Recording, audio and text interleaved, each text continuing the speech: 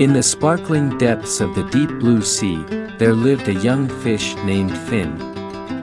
Finn was a small fish, with vibrant, shimmering scales that sparkled like a rainbow in the sunlight. But despite his size, he had a heart full of courage and a thirst for adventure.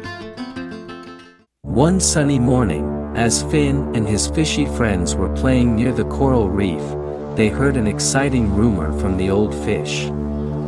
The rumor was that, a treasure chest, filled with the most beautiful gems and pearls, had been spotted on the ocean floor. All the fish in the sea talked about it, but none of them dared to go and find it. Where large monster-shaped fishes live. There is the many hidden cave under the sea, in which the shark hide to hunt, and there's the big octopus king. The king octopus, himself guards the treasure. Where no fish ever came, back. Hearing about these dangers all the fish are scared, but Finn is attracted by the treasure. He decides to win the treasure dot because he was a smart, brave, prudent fish. One day in the middle of night, Hoping to find treasure and see something new, Finn actually sneaks out of the house. After a journey of three days and three nights he met all kinds of sea creatures, from friendly dolphins to mysterious seahorses. They warned him of the dangers that lurked in the dark depths, like the grumpy old octopus and the sneaky sharks. But Finn was determined. As he ventured deeper, Finn encountered the dark and murky part of the ocean. The water grew colder, and the sunlight became fainter. Just as he was starting to feel a little scared, Finn saw something glimmering in the distance.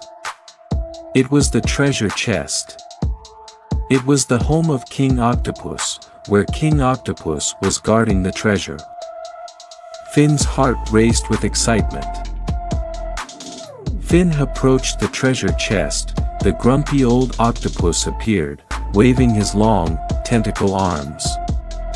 Stop right there. The octopus said with a deep, rumbling voice. This treasure belongs to me, although Finn was small in size, but he was very intelligent and brave.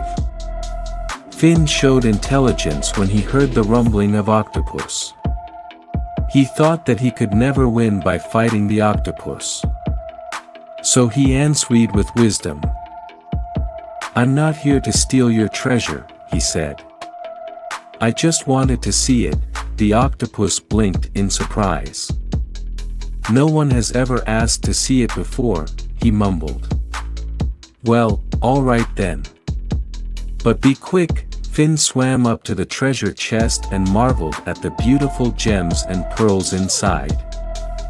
They were more magnificent than he had ever imagined.